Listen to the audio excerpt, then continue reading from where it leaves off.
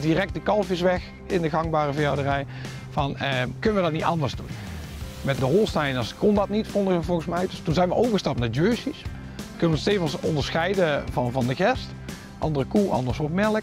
Maar die geven ook dus minder melk en wij dachten daar betere kansen halen, dus kalf bij de koe te houden. In de eerste drie maanden gewoon dag en nacht mee naar buiten met onze koeien, in de wei, meedoen wat het weer doet.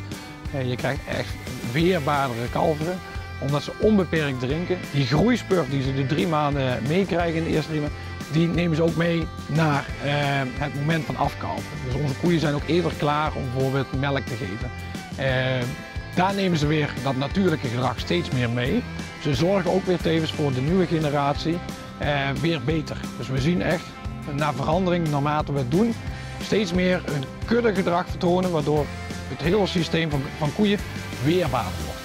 Zo moet. Dierenarts komt één keer per jaar om even te zeggen, Bart, eh, ben je nog boer eh, bij je spreken. Maar eh, wij hebben echt heel weinig problemen op dit moment. En, en dat is juist ook heel fijn, heel prettig boeren. Het kalf drinkt onbeperkt bij de moeder, gewoon de hele dag door. Ja, dus ieder kalf die rondloopt, heb ik een koe minder om te melken. Zo moet je het zien.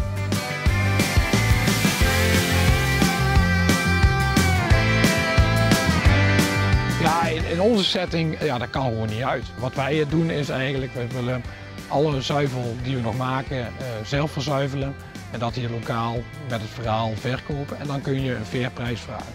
Word je nooit rijk van, maar eh, dan kun je het wel recht trekken. Wij zijn een speelboerderij begonnen uh, een camping, luxe kamperen bij de boer. En de laatste jaren hebben wij daar nog een zorgtak bij gehoord.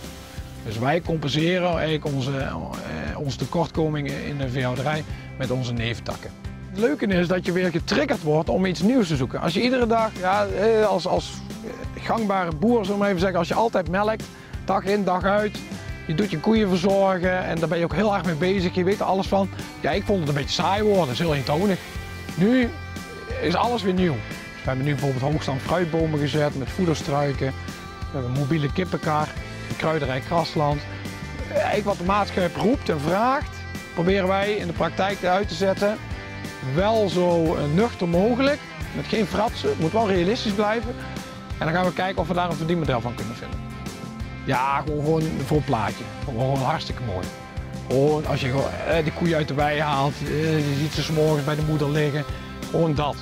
En dat is gewoon eh, een stukje emotie. Dat heeft niks met productie te maken. Dat is gewoon, het ziet er gewoon mooi uit.